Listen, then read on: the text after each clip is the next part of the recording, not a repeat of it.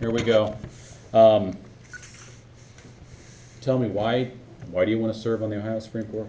because I have been given the opportunity through my experiences to bring to the court a complete judge, somebody who's tried cases, who has uh, done appeals, who's traveled all over the country, not just all over the state trying cases, all over the country. Plus, how many people have actually had cases they've succeeded in winning in the circuit, federal circuit courts and in the US Supreme Court.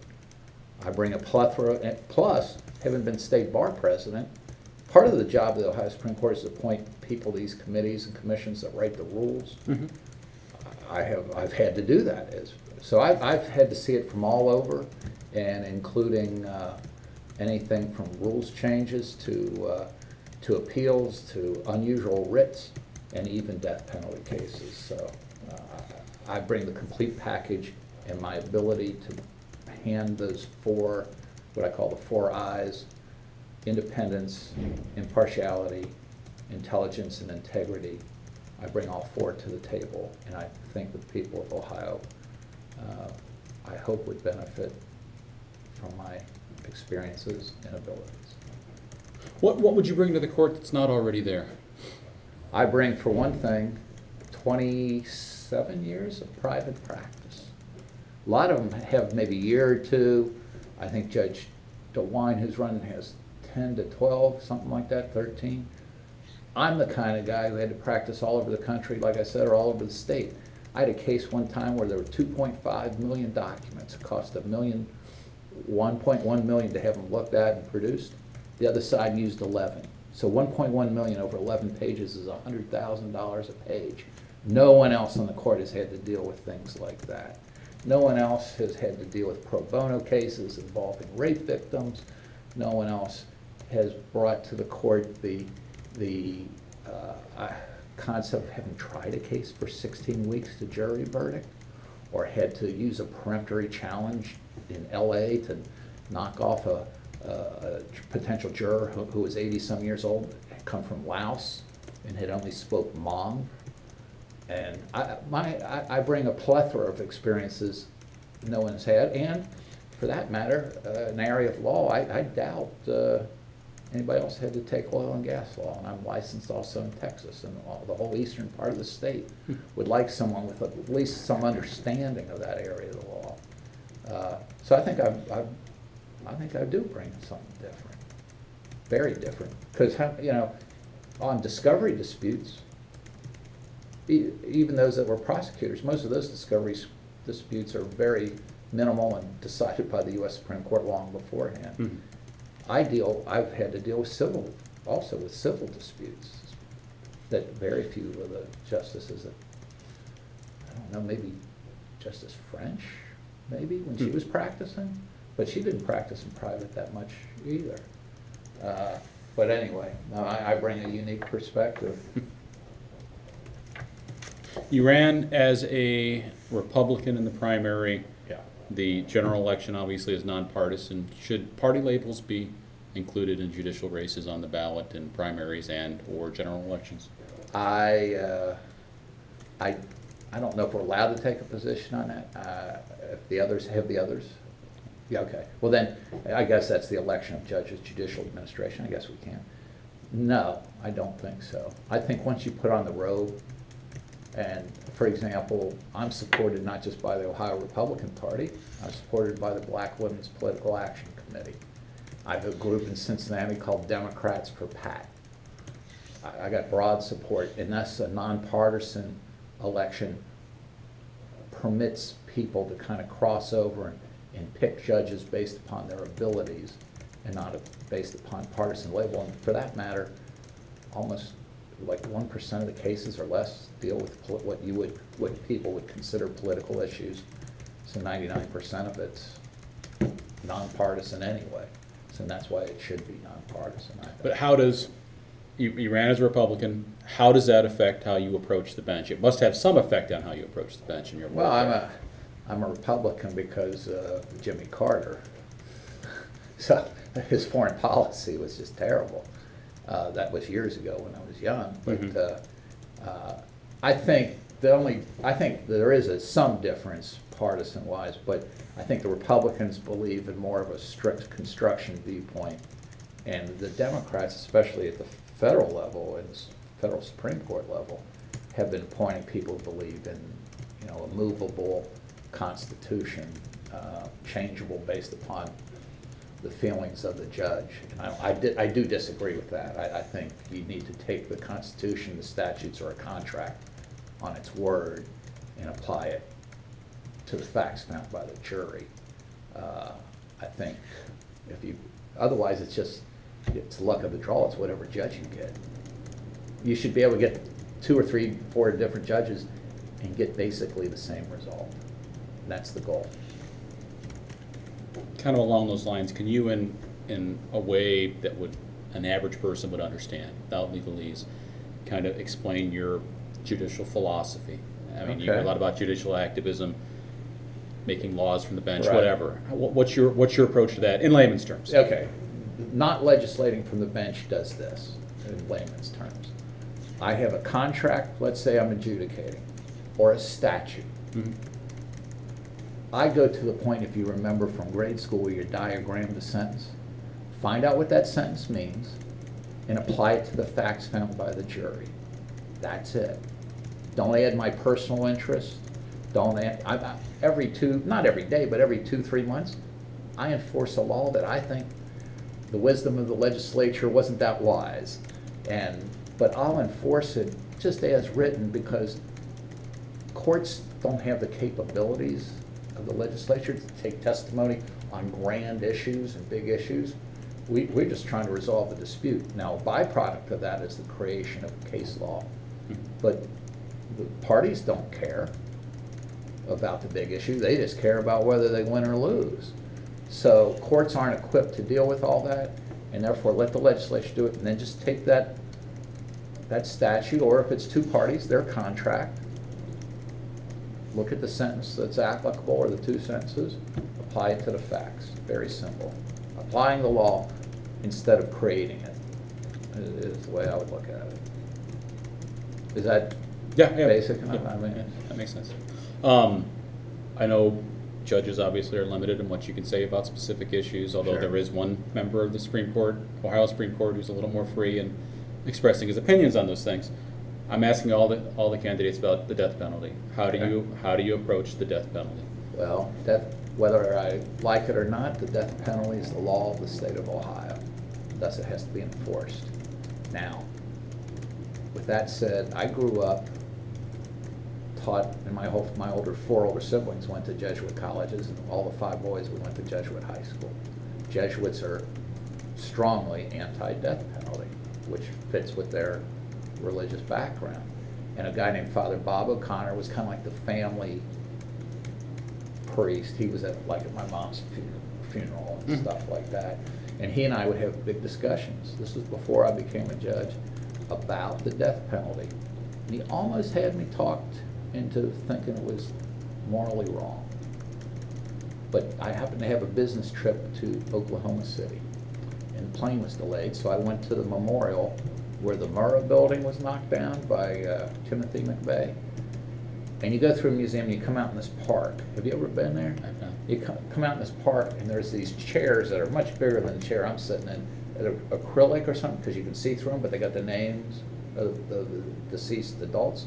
Then they got little ones, uh, kindergarten size for the little kids. And there's a woman on her knees, on the ground, with her head down on one of the little kid chairs, not just crying, I'm talking bawling. There's six, ten people around her, one of them holding a cake.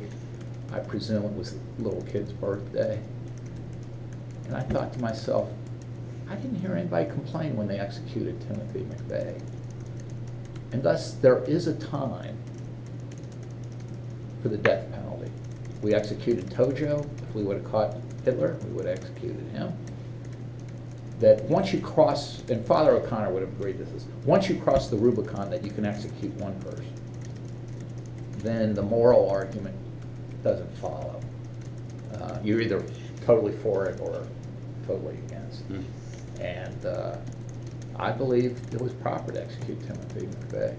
And after seeing that woman I felt more so. And, uh, so I don't know how, I, is that, you're answering your question? I, I, I, I, whether I believe that or not, though, is totally irrelevant. You have to enforce the law. The law of the state of Ohio is that, uh, that uh, capital punishment is permitted under certain circumstances. And therefore, I will enforce the law whether I disagree with it. In this case, I agree with it. Mhm. I, I don't, I do not just, I have some questions with those people that say, you know, it takes too long. I understand the argument because I am a big person about justice delayed is justice denied. But in this, in the instance of capital punishment, I don't think justice delayed is necessarily justice denied because you can't make a mistake in these cases, for obvious reasons. Hmm. But other than that, I'm okay with it, and and I'll enforce it, and I- whether I was okay with it or not, I would enforce it. Just like I said, I enforce other laws that I think are stupid. That one I don't think so stupid, but uh, there are laws that I think are stupid. Well, what do you do as a judge? Okay, so you have a law, you think it's stupid.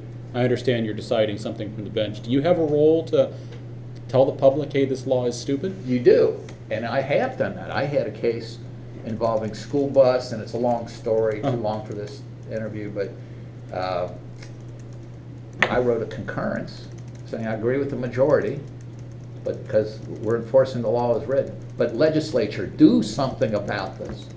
I didn't tell them what to do. Uh-huh. I don't think that's my job. But my job is to notify the legislature or the public, there is a problem here, the way, because they, they cut off a law and kind of left half of it hanging, so no one, nobody knew what to do under some, other circumstances, Mhm. so. Uh, and I, my understanding is they did change it, or they did something to add to it. But yes, that is my duty, but again, my duty is not to write that law, my duty to enforce it as written.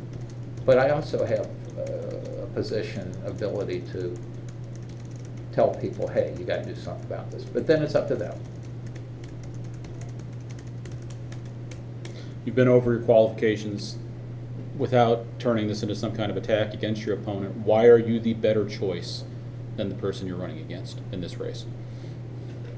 I have far more, as I've gone over it, far more experience, not just through Ohio. I've had cases in Cincinnati, I've had cases in Cleveland.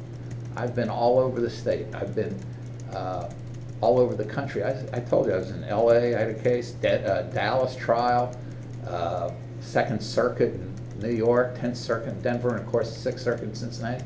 And, and took a case that was filed on the Thursday before the 04 election and took it to the US Supreme Court and won at 5:27 AM election morning. Very few lawyers have that ability.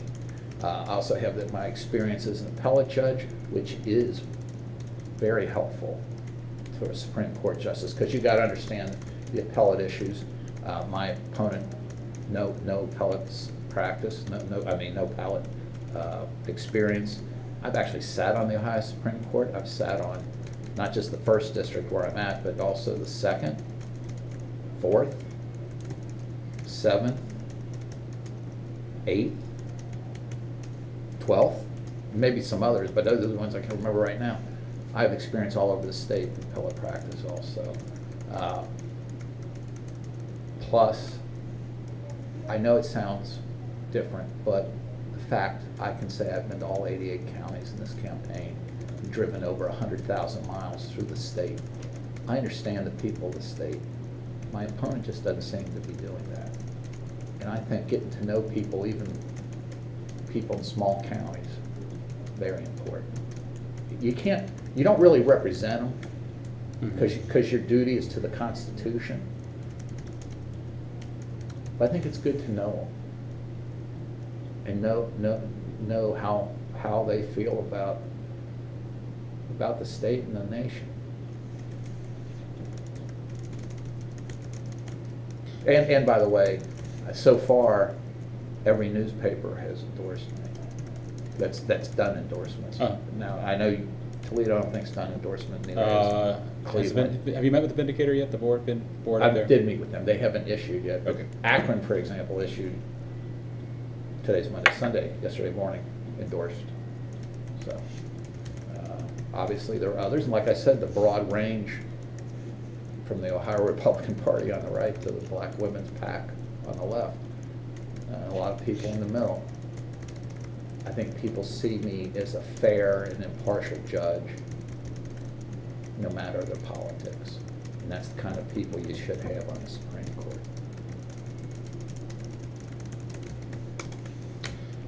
Uh, A lot of people are totally focused on a presidential race. They will pay no attention to your race, and they will not even vote in the Supreme Court race. Thirty-three percent undervote. What do you say to those people?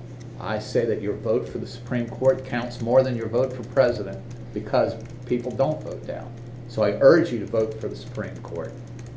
I hope you vote Fischer with a C, but uh, that uh, your vote actually, on a relative scale, has more value down ballot than it does. How so? How so? What do you Well, mean? think about it, think about it. I- And I don't know if I get the math right, but the concept is right. If, if thirty-three percent of the people don't vote down for the Supreme Court, every time you vote down there, it's gotta be worth at least one point three three in value. So that if, if I can get three people to go down ballot and vote, I'm actually getting four votes, because one person on the other side wouldn't have voted. Yeah. And so, I- I, I know it sounds weird, but it, it- it's, and I forget the exact numbers, but it, the concept is absolutely true. You're, you're, you're voting down the ballot has more, has more relative value than at the top. And, and if you care about all branches of the government, you know, the ABA calls the, calls us the least understood branch Mhm. because people don't know as much as what goes on. That uh, if you care about that part of the government, one-third of the whole power of the government, I would hope that you would care enough to take an extra minute or two and vote down the ballot. Any idea why people don't? I think they don't know the, uh, I think they feel that they don't know who the judges are and therefore don't want to affect an election on something that they know very little about. That's my guess. I, I- I'm sure there've been surveys or opinion polls on why people don't vote. There- There's got to be research out there. Do you run into a lot of people, out- I mean, you've been to all 88 counties, you run into a lot of people who don't even know that their Supreme Court justice is on the ballot? Yes, I mean, some people, because there's confusion with the federal Yeah. court system,